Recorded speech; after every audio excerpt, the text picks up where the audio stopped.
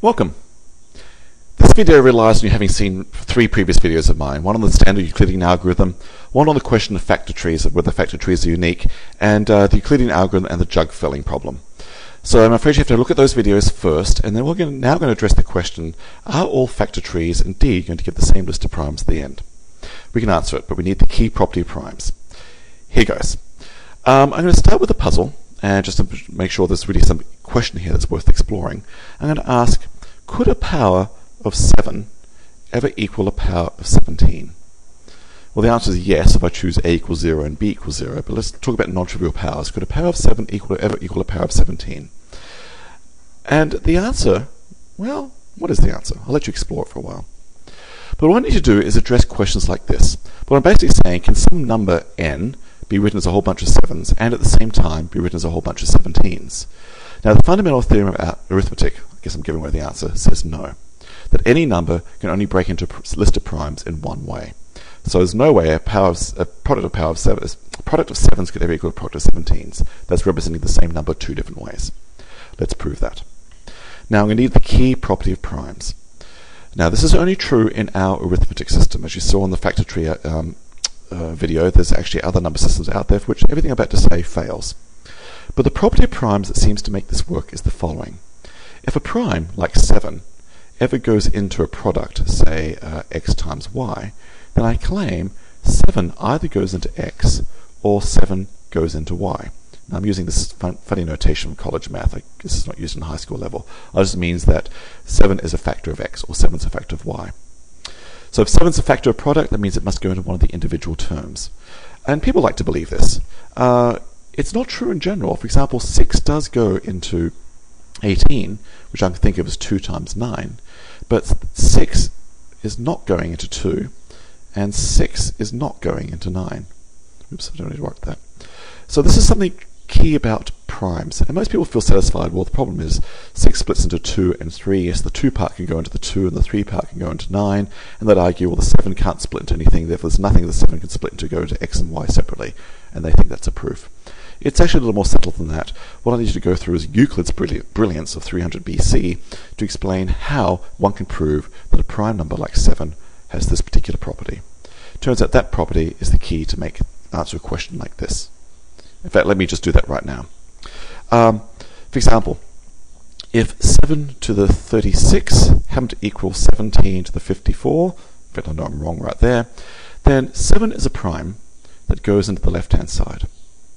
Well, Euclid's algorithm, Euclid's key property primes here, says that if 7 goes into a product, then 7 must go into one of the individual terms.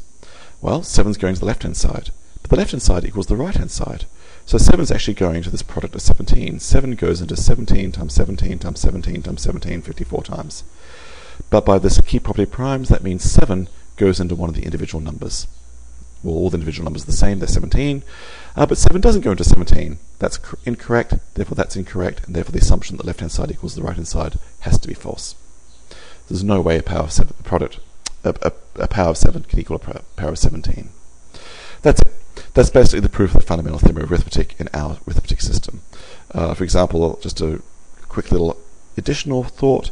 Uh, could 3 times 3 times 5 times 17 times 31 times 41 ever equal 29 times 29 times 117 times, I don't know, something or other.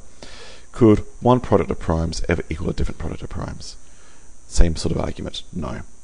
Pick a prime, say 29. 29 goes to the right hand side. Well, if the right hand side equals the left hand side, then 29 goes to the left hand side. By this key property of primes, if, seven, if 29 goes into a product, it must go into one of the individual numbers. Well, it doesn't go into 3, doesn't go into 3, doesn't go into 5, doesn't go into 17, doesn't go into 31, doesn't go into 41. Therefore, this equality can't happen. Two different products of primes cannot equal the same amount in the end. Alright, let's prove the key property of primes. Alright, let's clear my space here. It's going to take a little bit of work. As you can see from this green sprawly writing, the full details actually do appear in the book, um, volume one of my series. It's available on the website. Um, what I'm going to go through is probably a bit too fast, but let's see what happens. Alright, I'm going to change notation a little bit. Suppose 7 goes into product A times B. And let's see what happens. Suppose 7 isn't going into A. we want to prove then we're forced to say that 7 goes into B. Here goes. Let's look at this. S starting with 7 doesn't go into A. If 7 goes into A, there's nothing for us to prove, so this is the interesting part. Now, what are the factors of 7? 7 has factors 1 and 7. What are the factors of A? 1 and all sorts of stuff. But not 7, because 7's not going into A. So, the greatest common factor, greatest common divisor of A and 7, can only be, well, it's either 7 or 1, but 8, 7 must be 1. Now, if you look at the jug filling problem, that means we can write 1 as a combination of the original two numbers, x times a plus y times 7. Interesting. So there's a little equation for us to play with.